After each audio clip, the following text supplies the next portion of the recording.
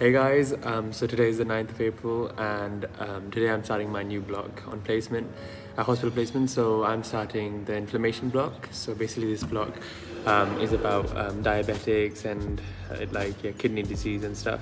So I'll be going on diabetic wards and speaking to diabetic patients. So really excited for this. I've heard a lot of good things. That um, there's a lot of like history taking opportunities. You get to see a lot of different patients from a wide range of backgrounds. So yeah, really excited for that.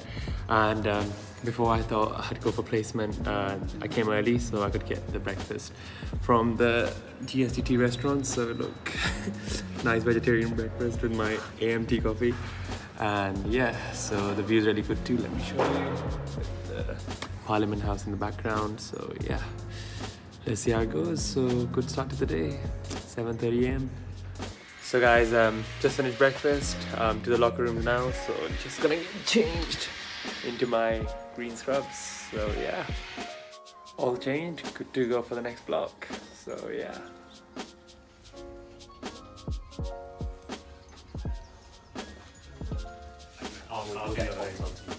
So guys, I uh, just finished my morning session on the diabetic ward.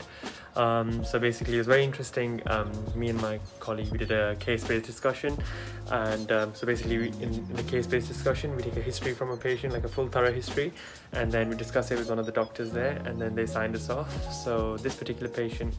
Um, they had uh, they came in with some peripheral edema in the legs and also with some leg numbness but they already had advanced uh, uterine sarcoma, so uterine cancer that metastasized, so very advanced. And it was really good taking their history, speaking about their prognosis. So I think it's very good for me uh, developing as a medical student. So very productive session.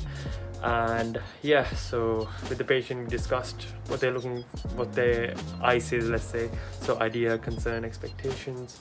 That was quite good. And um, then I discussed it with the junior doctor and they told us about what they're doing, differentials, how to approach them. So that was quite good. And yeah, so after that, we also followed uh, the consultant around for the ward round, saw a range of other patients as well, but that was the main uh, patient we focused on and did the subsequent CBD on that. So now I'm done for the morning session, just gonna get changed back into normal clothes and then um, just got a clinical skills session in the afternoon. But before that I'm gonna get myself some fish and chips. So yeah. Squeezing the lemon? Lemonade your eye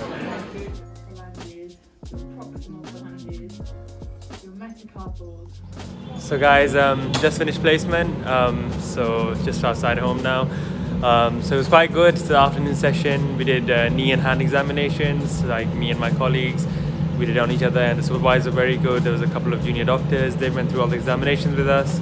And yeah, so it's first time doing knee and hand examinations, went quite good.